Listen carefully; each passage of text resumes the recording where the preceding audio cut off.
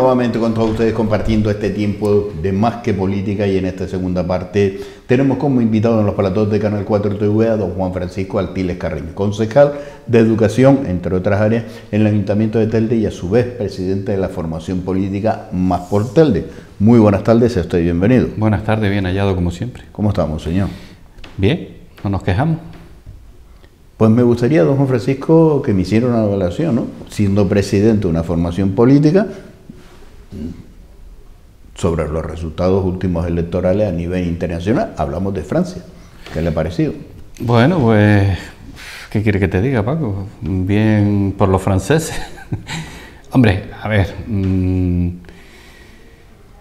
ahí, por lo que yo un poco leo y veo, mmm, ahí lo que ha ocurrido es mmm, eh, el resultado de, del hartazgo de la población por algunas, además se le cuestionaba mucho al actual presidente las formas un poco despotas de, de gobernar, ¿no? Eh, esa lejanía que él mismo ha creado en estos cinco años de, de distanciamiento con la...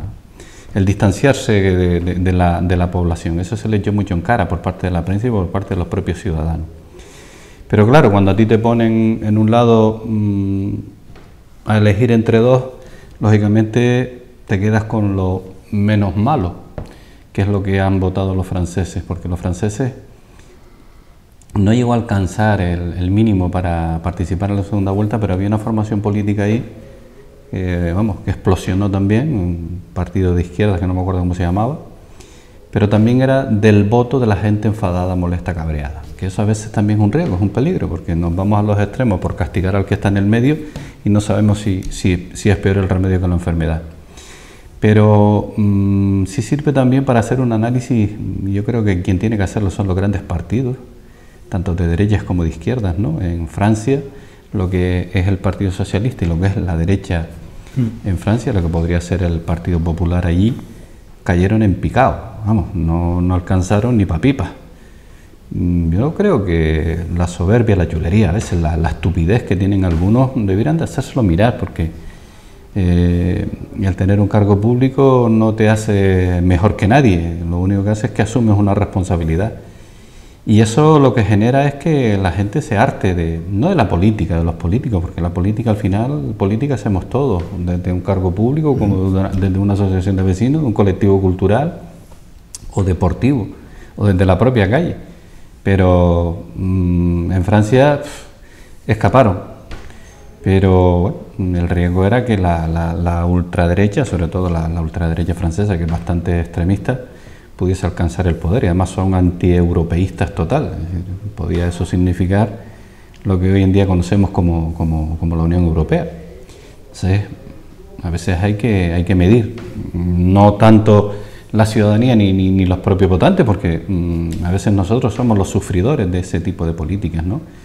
De esas estupideces que vemos en, en, algunos políticos a la hora de, de comportarse, ¿no? que en ocasiones te miran por, el, por encima del hombro o, o, nunca, no son personas que sean accesibles, que tú a acceder fácilmente a ellos, ¿no? y se van alejando, se van alejando. Y claro, es como el, el, el, el mal del, del, del, alpinista, del escalador, ¿no? cuanto más arriba sube, cuanto más te falta el oxígeno, más pierde la orientación y bueno, algunos terminan cayendo al suelo.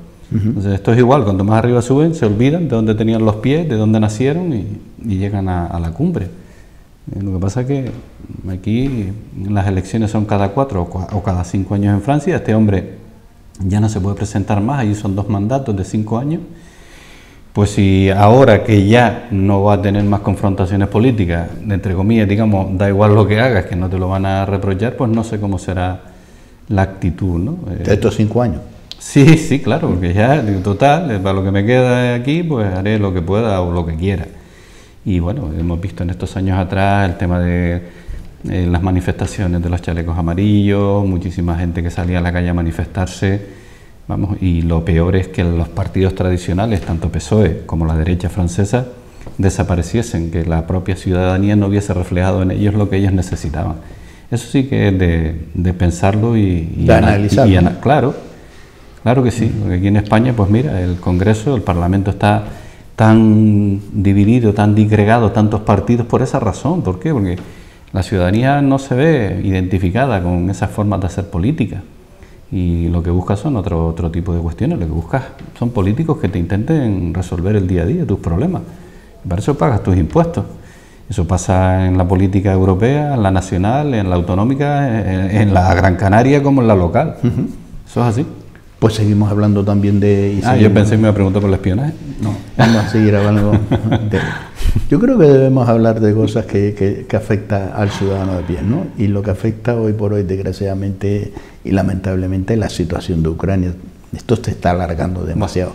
ya, eh, mira que yo fui de los que pensé que esto era un farol del, del tipo este, vamos a decirlo así, eh, del abusador este, porque esto es un abusón eh, pensé que era un farol por conseguir parar algunas cosillas que a él no le interesaban y tratar de controlar esa zona, que es lo que él pretende, volver a, la antigua Unión Soviética, ¿no? que era la Unión de República Socialista Soviética, pero creo que sin ser socialista. Este, este no creo que sea ni comunista ni socialista. Y parece que no, parece que, eh, por desgracia, lo que está ocurriendo allí, pues ya está trascendiendo más allá de Europa, ya nos afecta en la parte económica, eh, ya no solo el daño eh, material que se está ocasionando a ese país y, al pueblo ucraniano, sino lo que eso ahora ya está repercutiendo, ¿no? ya se encarecen los precios, se encarece absolutamente todo, la escasez de, material, la materia prima, el combustible, sí, ya esto ya es, es una cadena. Pero bueno, mm, vamos a esperar y desear que esto acabe pronto, mm, que parece que no, pero bueno, vamos a... ¿Y usted cree que esto se va a reconducir? Digo, mañana dice el señor Putin y, se acabó, ya se acabó la guerra. No, no. Va a eh, repercutir en que se va a bajar el precio del petróleo, el precio del gas, la cesta de la compra volverá a su normalidad. Mira lo que ha hecho hoy, le ha cerrado el grifo del gas a dos países, a Polonia y a, Hungría. Bulgaria. Bulgaria, perdón. Bulgaria, Hungría. Bulgaria. Bulgaria pues imagínate eh, el miedo que tiene el muchacho a las presiones que le están metiendo por todos lados. Eh, tiene claro lo que quiere y, lo quiere conseguir por la fuerza. Esperemos que todo quede ahí, no vaya más allá, pero lo que está haciendo es mm, acabar con muchísimas vidas humanas, destrozar un medio de vida a inocentes que hasta hace dos meses eran felices y vivían medianamente bien como cualquier ciudadano de, este planeta. Bueno, como cualquiera, ¿no? porque también hay zonas en este mundo que, que, hay que hay que mirar con lupa, pero eh, cada cierto tiempo aparece un loco, vamos a llamarlo así, y, ha tocado ahora. Como apareció uno por allá por Estados Unidos, o apareció una bueno, esta mujer no, lleva tiempo ahí en Francia intentándolo, por la vía democrática, pero bueno, no olvidemos que Hitler también fue por la vía democrática y mire el monstruo que apareció. Bueno, nos acercamos todavía más a Canarias. Vamos para allá. Y en este caso la situación de, las relaciones con Argelia, con Marruecos, el señor Sánchez. Yo creo que una decisión como la que tomó el señor Sánchez no es una decisión de presidente de gobierno, yo creo que es una decisión de parlamento y ahí, o de Congreso en este caso. El señor Sánchez, desde mi punto de vista, yo no sé si mm, a largo plazo o a corto plazo lo que, lo que hizo será bueno o será malo, porque él vende una, una versión para justificar lo que ha hecho, pero lo que ha hecho ha sido darle una patada a muchísimos años de lucha y de reivindicación, y simplemente con resoluciones escritas de, la propia, de, la, de las propias Naciones Unidas. fuera de ese marco, todo lo que haga España no, para mí no tiene legalidad. Para mí es una ilegalidad total, completa. bueno, si él de forma unilateral ha tomado una decisión sin contar con el resto, no puede sentirse mal porque los demás eh, cuestionemos o critiquemos ese tipo de, cuestiones. Y mm, tiene que ser el único que ve las cosas de forma distinta a él, porque el resto de partidos de distintos colores, ninguno coincide con él. Pero lo sigue manteniendo. Bueno, y esos son otros otros López, como dirían, ¿no? Eso ya es otra historia.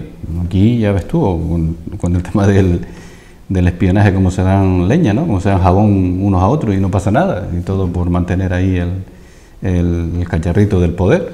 Eso es así. Pero, sinceramente, yo creo que mm, el señor Sánchez en este momento, mm, yo creo que mi opinión particular y personal es que debiera mm, darse un bañito más de, realidad y menos de, marketing y de imagen y quizás eh, enfocar las cosas de forma distinta.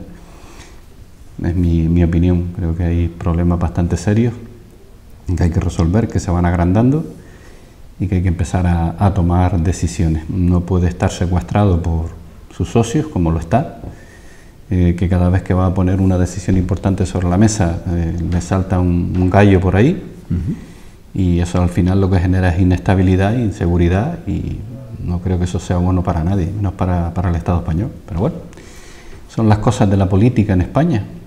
Están ahí porque la ciudadanía les vota, les elige.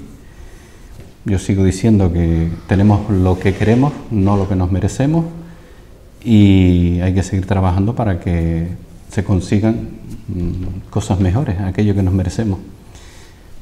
No mm, entrar en más detalles. Hoy viendo la sesión de control que se hizo en el, en el Congreso, aquello sigue siendo el, mismo, el mismo circo. No está muy bien, porque eso hay discursitos que, son simpáticos, que, que te hacen sonreír y de vez en cuando se largan un chascarrillo graciosito que, que, anima el, el, baile. Pero bueno, yo creo que hay detrás de todas esas personas una población que sigue teniendo necesidades y problemas, que, que sería en lo que tendría que, fijar y, y poner el foco. Lo veo que usted está muy interesado por el espionaje. Mm, no, es que... Digo yo, no, no sé. Es que, pero, es, que, es que me hace gracia porque mm, eh, todo el que llega ahí y controla el Centro Nacional de Inteligencia, vamos, a hacer virguerías, ¿no? Eh, escuchas, espionajes, eh, yo qué sé, las herramientas del Estado están para darle el uso adecuado. El Chenique dice que había que rodar cabeza, yo no sé si había que aguitonarlo, o fusilarlo. O... Llevarlos a la guillotina francesa. Digo, no sé. Eh, es que es asombroso ¿no? lo, que, lo que ocurre. Eh, el poder para mantenerse en el poder. Yo no digo que eso haya existido, no. Lo que sí sé es que nadie ha explicado nada, ni lo ha aclarado si es cierto o no es cierto y después de escuchar hoy también a la ministra Roble, que no daba una explicación clara de si era cierto o no y justificaba aquello de lo que había pasado en Cataluña, que, haría el Estado si alguien le declara la independencia. Digo, hombre, cumplir, ya que estamos intentando combatir una ilegalidad, cumplir con la ley para aplicarla. No podemos no Claro, entonces volvemos a aquello a lo de local, ¿no? Combatimos el fuego con el fuego. ¿Te acuerdas cuando Felipe González creó, bueno, en aquel entorno eh, vinculado al Partido Socialista, no el señor González. ¿Pero usted le preocuparía ahora que el Estado lo, lo espiara? ¿A mí? Mm. No tienen nada que espiarme, pero si se ponen... Digo, ¿no? El que, la persona que no hay una, que tenga todo, lo va a hacer todo acorde a la ley, ¿dónde está la preocupación? La preocupación está cuando hay una... Que hoy es ella y mañana eres tú. ¿Eh? Que hoy es ella y mañana eres tú y tú no me puedes exigir a mí como administración que sea escrupuloso con las normas y tú haces lo que te da la gana. ¿Pero qué quieres? ¿Son tonos cotillas? No, eso ¿Están aburridos? En eso estoy, estoy de acuerdo. pero es que resolver eso, es muy serio. Vamos a, a, los, a, los, españoles, bajarle los impuestos, buscar eh, una sanidad más accesible y que sea mm. más cercana. Eso no, es, ese, eh, eso no está en la agenda de los gobiernos. El gobierno lo que le gusta es eh, saber oye, escuchar a, ver. qué dedicas el tiempo libre? A ver qué hace el otro, con quién se relaciona, qué líos tiene. Eh, tenemos un gobierno cachondo. Vamos, vamos a pasar a otra página del libro. Ya no le gusta el espionaje. Nada, pues ya te estás metiendo. No le gusta el espionaje de los rombos. Te, te estás metiendo en cosas que no. Eh, de verdad, Paco, vergonzoso. Pero bueno, allá, allá ellos. Oye, por cierto, las elecciones de Andalucía, ¿qué cree que puede pasar? Pues los ciudadanos de Andalucía decidirán, no se sabe, Paco. lo único que te puedo decir que, visto lo visto, mm, los pobres de ciudadanos, por decirlo de alguna manera, lo de pobre en plan eh, cariñoso, eh, ya hoy vuelven a, tener un lío interno y terminarán también por desaparecer casi en Andalucía. Es una pena. Nos vamos a centrar ahora en la política más cercana, aquella que le, le, piden cuenta los ciudadanos y vecinos vecinas de esta ciudad. Que, para eso he venido, además hoy te he traído un paquetillo para mostrarlo. Pues por supuesto, lo vamos a compartir de ese trabajo. Estamos hablando de acciones que se están llevando y se ha llevado a lo largo de esta legislatura en los diferentes centros. En este caso vamos a hablar de un centro como el Centro José Tejera de Ginamá. Era eh, la obra que nos quedaba del plan de obra, valga la redundancia, eh, ahí está la primera foto, fue la visita que hicimos con los técnicos el lunes, ya finalizamos, damos por finalizada la, ejecución de obra, en la que nos quedaba del plan del 2020-2021. Eh, aquí voy acompañado por la técnico municipal y el técnico que llevaba la dirección de obra y Armando, nuestro empleado vigilante del centro. Y bueno, eh, hicimos una, revisión, una inspección a los acabados con los técnicos como te decía, esta obra estaba enmarcada dentro del plan de obras de infraestructura educativa municipal del 2020-2021. Eh, hubieron complicaciones en el camino, nos encontramos eh, algunas incidencias, eh, sobre todo algunos vicios ocultos en la obra. cuando empezamos a trabajar en, en, las correas exteriores para arreglar la fallada, los técnicos detectaron que los pretiles no estaban bien sujetos al final tuvimos que, entre la obra ordinaria, tuvimos que declarar también una emergencia y trabajarla. Y la verdad que, bueno, estos son los resultados. Se ha dado un cambio total al centro, se ha reparado toda la fachada, todos los pretiles y se ha impermeabilizado toda, toda la cubierta. La inversión ha superado los 200.000 euros. Este es el resultado del trabajo que hace todo el equipo del área de educación de la concejalía al cual yo también les quiero dar las gracias. Y bueno, esto es un, pasito más en el trabajo que estamos realizando, una, un avance más. en, este es el antes y el después de cómo estaban estos coles y cómo los estamos poniendo. Después de más de 20 años que no se intervenía en ningún colegio, pues ya prácticamente hemos estado en todo. Ahora estamos trabajando ya en, lo que toca en este año y en el próximo. Ya hemos eh, aprobado y eh, notificado y adjudicado tres iniciativas más, que es el, doctor Hernández Benítez en San José de las Longueras, el Gregorio Chile en La Huesa y el Montiano Placer es una fase más de obra. Y esto, pues bueno, para que los vecinos de Telde vean lo que hace este concejal y para lo que le pagan. Yo soy de los que me gusta dar cuentas y creo que una imagen vale más que mil palabras. Seguimos trabajando, seguimos mm, cumpliendo aquello que dijimos, seguimos demostrando que somos capaces de, de trabajar y de resolver y bueno, estamos sujetos a, a que los vecinos y vecinas de Telde conozcan lo que hacemos. Y yo te agradezco muchísimo pues que me permitas de vez en cuando pues meter estas fichas en tu programa. Hombre, son las imágenes que... Yo puedo venir aquí y largarte un discurso, pero bueno. Pero fíjate por dónde el, el, cambio de imagen nada más que se le hace a los diferentes centros, el antes y el después, parece que no es ni el mismo centro. Mm, sí, eso me dicen algunas personas. Y eso nos pasó, por ejemplo, en el, en el en Caserones Claro, eh, lo que reparamos fue el módulo más antiguo. aquello un montón de tiempo sin hacer, hacerse nada. Y cuando se cambió la imagen, que bueno, los colores son, son los mismos, hemos mantenido dos colores eh, para distinguir a los colegios de Telde. O el Colegio del Goro, por ejemplo, que del año 88 no se tocaba la zona más antigua. Entonces, claro, cuando tú ves ese impacto, ves el antes y ves el después, o, la, o la, cancha que, reparamos, que vamos, que aquello antes de repararlo eh, parecía un campo de minas, ¿no? todo, todo destrozado. Y bueno, esto es lo que al final te, te, da esa sensación de satisfacción de decir, bueno, mm, esto es lo que nos piden y esto es lo que le damos a, los vecinos de Telde y a los, a los ciudadanos que, que han confiado y no han confiado en nosotros cuando, cuando llega un proceso electoral. Es nuestra obligación, nuestra responsabilidad y es lo que hacemos con, con el dinero público.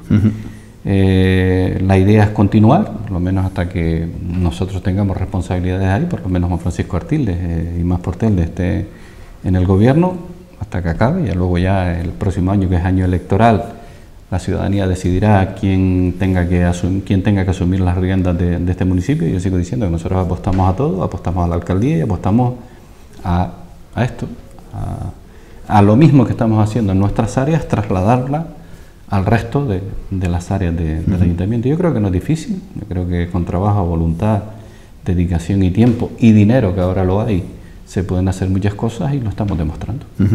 Por otro lado, se está haciendo en este caso eh, una acción y en, el centro León y Castillo. Sí, eh, hoy salió publicado también en los medios, veo que, que te los lees de vez en cuando. Intento. sí, hoy eh, salió publicado, pero la Junta de Gobierno local del, fue el jueves pasado cuando aprobó, ya está en licitación el se aprobó el pliego y el gasto para licitar el proyecto de ejecución de renovación de toda la instalación eléctrica y medidas contra incendio del Colegio León y Castillo, allí en Picacho. Mm, hace poco terminamos lo que era toda la reparación de, la fachada también y ahora hemos eh, conseguido una subvención del, del Cabildo, del área de cooperación institucional, 441.000 eh, euros es el coste total de la, de la, licitación del proyecto. Luego ya, bueno, seguramente bajarán cuando las empresas empiecen a presentar ofertas. Normalmente se suele, se suele bajar la, la, licitación. Pero bueno, con esto mm, damos otro impulso más a otro colegio. Con este colegio es el cuarto en el que hacemos, eh, vamos, renovación integral de toda la instalación eléctrica. Y esto en tres años. Mm, estamos hablando de una inversión que solo en esa materia ronda el millón y pico de euros.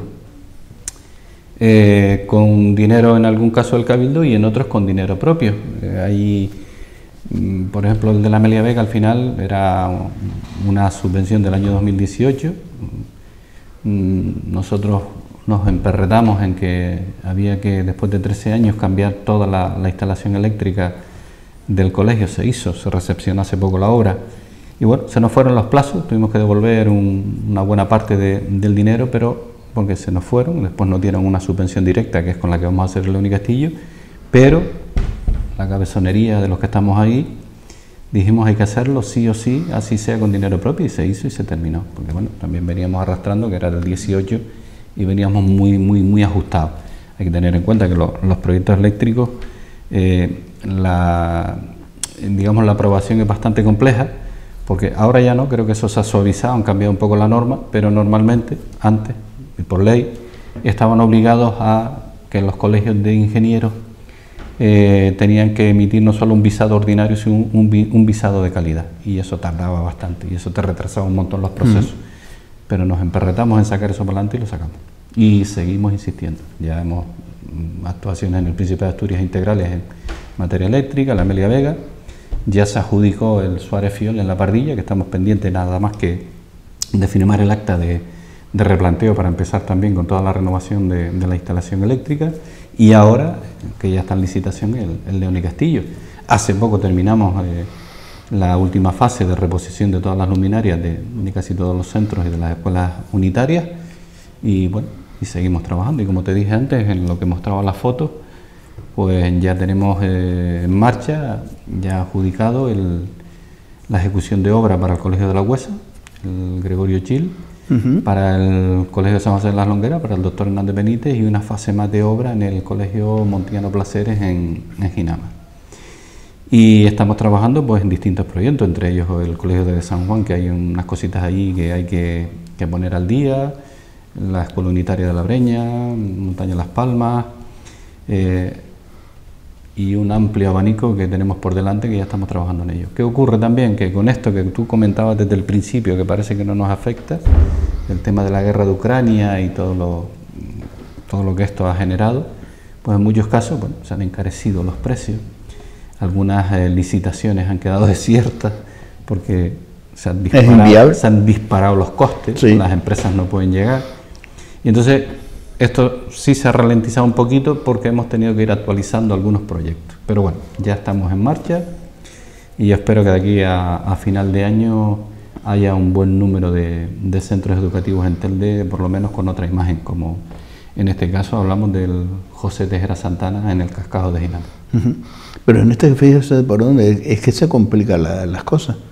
Y se complica por los costes, como usted acaba de decir, y las empresas tienen esa incertidumbre. Aquí uno de los problemas que tuvimos fue de suministro. Las albardillas, lo que va en la cabeza del pretil, se reparó todo y luego había que cubrirla ¿no? para las filtraciones, tardó en llegar. Nos cogió entre los líos del transporte, aquellos paros y huelgas que había, por la subida del, combustible y el encarecimiento de, los costes, mm, nos paró.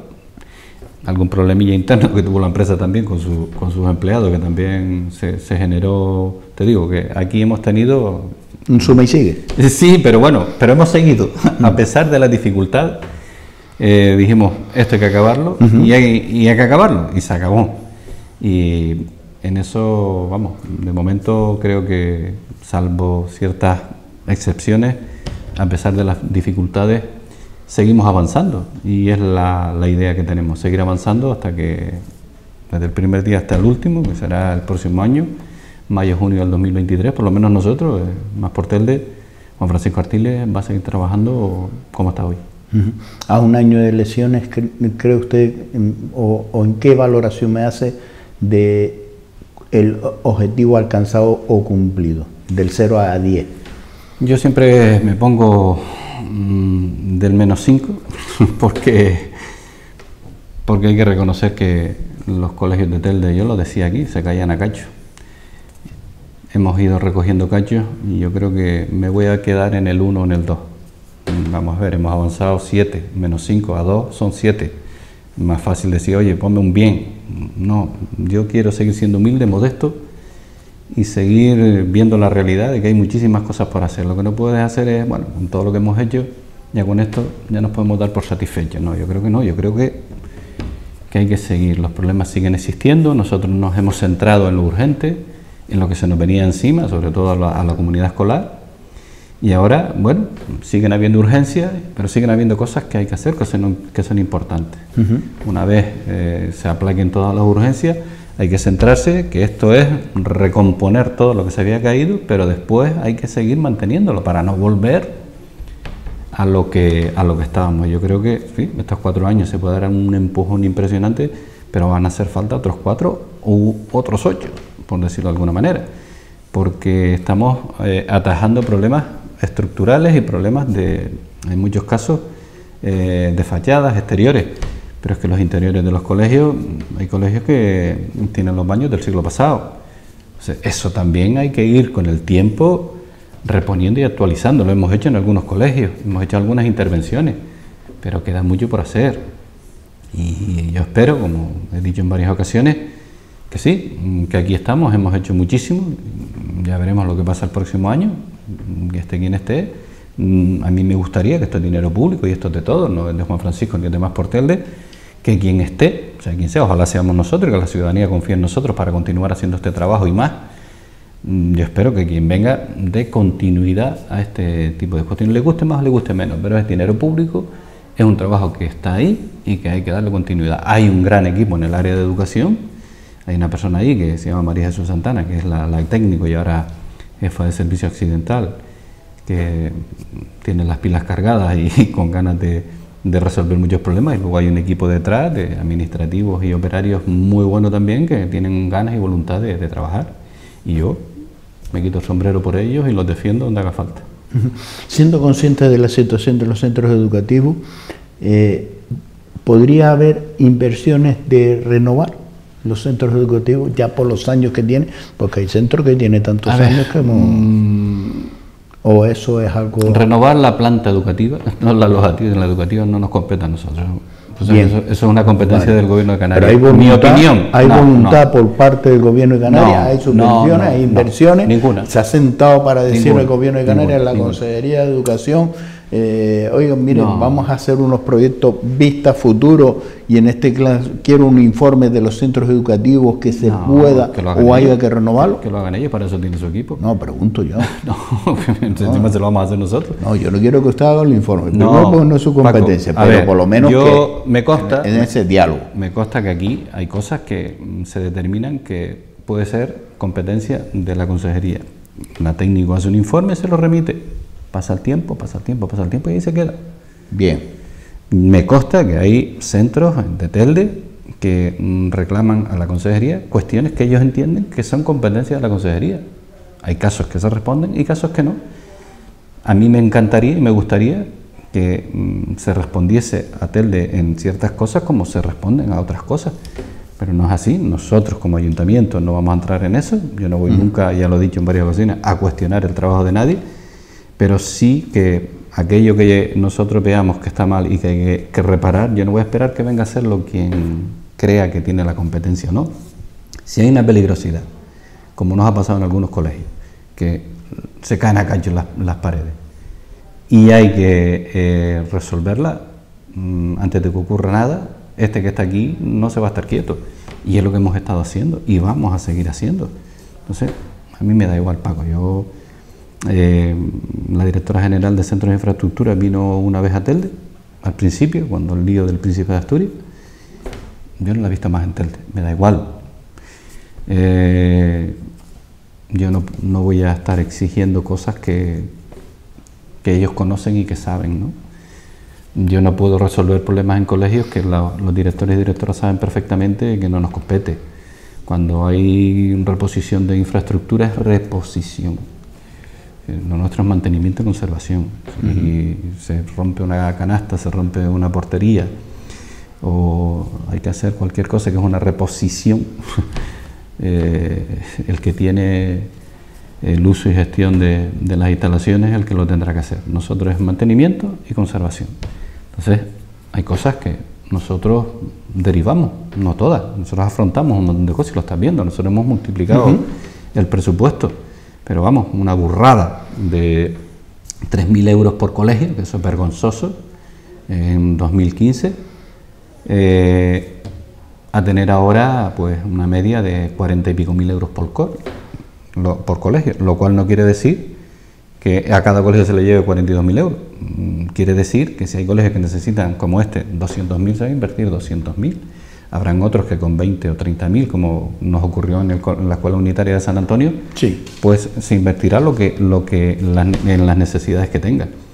Pero pasar de, al cierre de 2015, después se incrementó a 3.000 euros por colegio, ahora a 40 y pico mil. Estamos hablando de un presupuesto, eh, vamos, disparado, de 1.400.000 euros para mantenimiento y conservación, aparte de lo que invertimos en limpieza, que es otro millón cuatrocientos mil euros. Yo creo que hemos crecido un montón. Y eso ha sido una pelea que hemos eh, mantenido durante todo este tiempo y seguimos peleando. Y vamos a, como te dije, hasta el final de la carrera no vamos a parar. Bueno, ahí está, yo siempre lo expongo, desde que tú me pinchaste, me diste la posibilidad de traerte y mostrar el trabajo, lo seguiré haciendo mientras tú me lo permitas y que los vecinos y vecinas de Telde vean que aquí, bueno, nosotros no estamos para nada mirando para los celajes, como, como se suele decir. Esto es un cambio de imagen impresionante. Esto es un. Total. Eh, aparte del cambio de imagen, la, digamos, la seguridad, eh, la garantía de que el edificio, por lo menos lo, lo, que, lo que corría riesgo, esos problemas ya están resueltos. Mañana podrán aparecer otros, pero eh, lo importante, lo urgente está, no tiene más que ver lo anterior a, lo actual. Y eso, bueno, eso te llena de, orgullo y satisfacción de, del trabajo realizado y yo diría que el trabajo bien hecho. Pero fíjate usted que eso, si, si hacemos un estudio psicológico, afecta al propio alumnado. ¿eh? Es algo que no es lo mismo ir a unas instalaciones eh, que se están cayendo, unas instalaciones viejas, unas instalaciones ahí a, estudiar. A, Te vuelvo a poner el ejemplo del Goro. el Goro, tú imagínate, mm, fue el año pasado cuando hicimos la, digamos, la actuación más, más fuerte, más importante. Hicimos dos, hicimos una en la, en la, parte más antigua y otra en la parte, digamos, más nueva del edificio. Uno lo hicimos con personal de, de un plan de empleo y, y otra parte con con una licitación abierta en la que ofertaron con empresas privadas y la, había una zona la más antigua, una puerta que de, verdad que da hasta vergüenza, nos pasó igual que aquí en el colegio Miguel Hernández, el fase quinta. Y yo creo que quien tenga un mínimo de, de decencia y de vergüenza hubiese hecho algo con aquella puerta, ¿no? Mm, ves la puerta y es la misma, lo que pasa es que está reparada, está reformada. Eh, tú ves aquella entrada y ahora, me lo decía el otro día un padre, dices que ahora entras aquí, mm, eso que tú dices, mm, te, te motiva, da gusto. Yo qué sé, el, el, cambio de imagen te motiva a entrar y el Goro tiene un, digamos, entre comillas, una serie de limitaciones, ¿no? Un barrio que no tiene, básicamente no tiene servicios públicos, es decir, no hay un parque, eh, zonas infantiles, eh, hay zonas de esparcimiento. Hombre, tienes el cole donde tienes al club de los monogoros, con una cadena de, deportistas, de niños y niñas impresionante. Tienes eh, monitor de judo, tienes actividades dentro del colegio. El colegio es como un punto de encuentro donde muchísima gente del barrio, y también que no es del barrio porque están en el, equipo, juegan, participan y conviven. Y eso mm, también es una cuestión que, uno valora y ya no miras eh, la cantidad de alumnos o de profes o si tiene una ratio mayor o una ratio menor, sino el uso, eh, digamos, el punto de encuentro que tiene aquel colegio en actividades no solo extraescolares, sino sociales y deportivas, que vamos, que es digna de mención y yo diría que hasta de ejemplo para muchas zonas del municipio, que los colegios en algunos casos sí, en otros no, porque no todos reúnen las mismas condiciones, se pueda dar en esos espacios donde no hay esos servicios que otros barrios sí disponen de ellos, desde el cole se pueden prestar ese tipo de actividades. Eso es, vamos, mm, hay que estar para, para vivirlo y yo he estado, lo he vivido. Y ver cómo las personas te lo, te lo agradecen, porque, por lo que tú decías, por, porque el cambio de imagen te motiva. Sí. Cuando tú ves aquello, mm, todo hecho un desastre, una puerta que no hay por dónde cogerla, unos vallados en los jardines que del siglo XVIII, que todo oxidado, y ahora llegas y te encuentras, bueno, te encuentras un colegio. Y no se le ha hecho nada, simplemente no se le ha hecho nada, quiero decir, no es un colegio nuevo, lo que se le ha hecho es... Personas, instalaciones eso, es, dignificar las instalaciones porque dignifican también a las personas, porque hablamos que es lo de siempre, ¿no? La educación es un pilar de esta sociedad, pero si no tenemos unas instalaciones también dignas, donde... Y la propia eh, eh, sociedad se identifica cuando se invierte en unos barrios y en otros no. Eh, en este caso... ahí es donde dice, soy un barrio de primera categoría, un barrio de En este caso tenía una, digamos, una espinita, mm. que era eh, la huesa, porque desde el año pasado estamos intentando llegar ahí, pero en distintas circunstancias no hemos podido, y Montaña Las Palmas. Y ya vamos a entrar en la huesa y pronto intentaremos hacer lo mismo en Montaña Las Palmas. Vamos a estar en, en San José de las Longueras, con otra intervención, ya será la tercera, y en el Motiano Placeres que también será la tercera fase, porque es mucho lo que, lo que necesita y como bien decías antes, hay que dar juego a todo. No, da igual el tamaño del barrio y el número de vecinos que tenga. Pues hablaremos, como decía el señor García, largo y tendido de esa acción. Cuando usted decida. Muchas gracias, señor Carreño, por estar con nosotros, por acercarnos a Canal 4 eh, Artiles, Carreño. El partido Carriño, porque oiga, el Día de la Madre lo tenemos los domingos. Con mucho orgullo. ¿Eh? Y hay que decirle, oye, hay que Con mucho orgullo. ¿eh? Y hay que hacer mención porque todas las madres dicen, es que siempre le llama Artile, Juan Francisco Artile. Y, yo, Conchita, pues Conchita y Pepito pues, eran mis haciendo padres. reconocimiento a las madres. Y, con mucho orgullo y mucho amor los recuerdo todos los días de mi vida. ya lo vamos felicitando ya con antelación a todas las madres. ¿eh? Sí, señor. Muchas gracias, Paco. Muchas gracias. Un placer estar aquí siempre contigo. Pues cerramos esta entrevista con el concejal de Educación y presidente de la formación política más portel de don Juan Francisco Artiles Carreño. Eh, eh, digo, psicológicamente el, alumnado, sobre todo principalmente, no le damos ese valor, no le damos ese valor o no le damos ese, ese punto de, de análisis. Pero no es lo mismo ir a estudiar un centro educativo decente, un centro educativo que podamos decir, oye, te anima, ahí a un centro educativo que, se está cayendo a callo y que poco más o menos lo único que faltaba que el alumnado fuera con equipos de EPI, un casco.